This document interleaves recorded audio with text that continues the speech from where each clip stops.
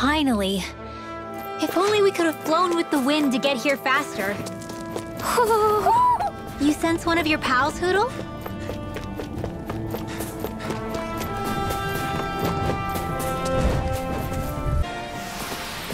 We're in good form!